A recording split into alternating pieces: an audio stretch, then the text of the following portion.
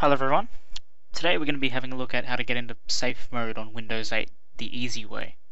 Now I've had a look at this article on this website here, you can go check them out, they've got a few good articles on how to do things.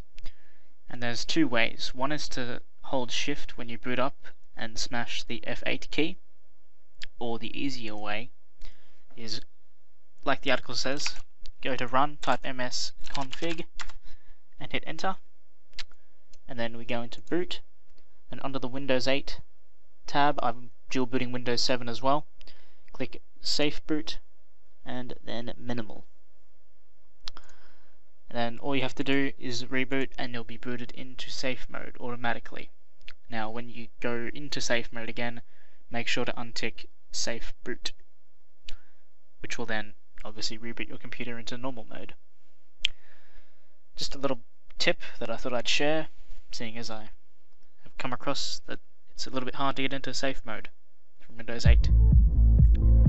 Thanks for watching again, and please subscribe.